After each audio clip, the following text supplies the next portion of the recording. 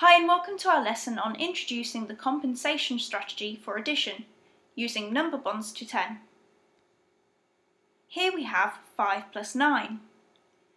We can work out this calculation by finding 5 plus 10. This equals 15. Adding 10 is easy because our units, 5, remain the same. We just have a 1 in front in the tens column. We can then use our number bonds to 10 to help us. 10 is 1 larger than 9, so we can subtract 1 to get our answer.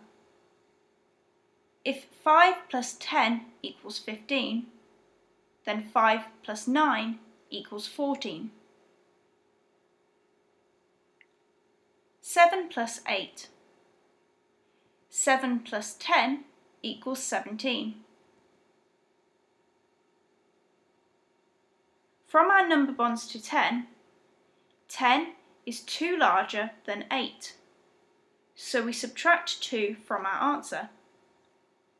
If 7 plus 10 equals 17, 7 plus 8 is 2 less and equals 15.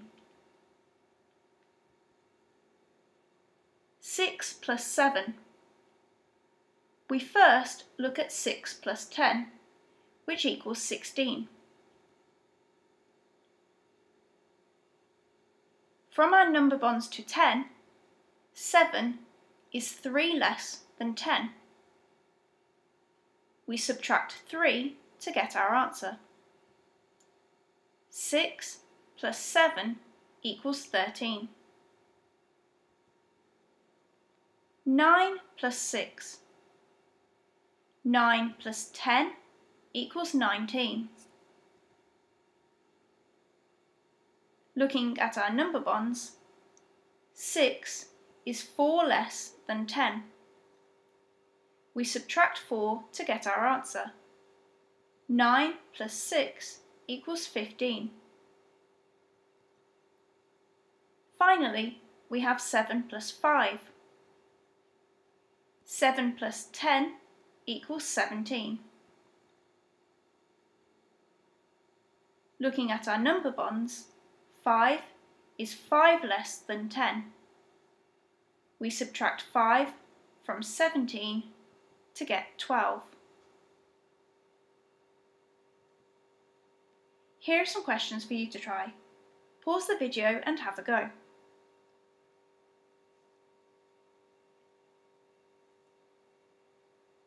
Question 1. 7 plus 10 equals 17. We subtract 1 to get 16.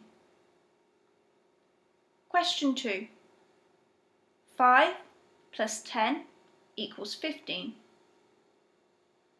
We subtract 2 to get 13. Question 3. 8 plus 10 equals 18 we subtract 2 to get 16. Question 4. 5 plus 10 equals 15. We subtract 4 to get 11.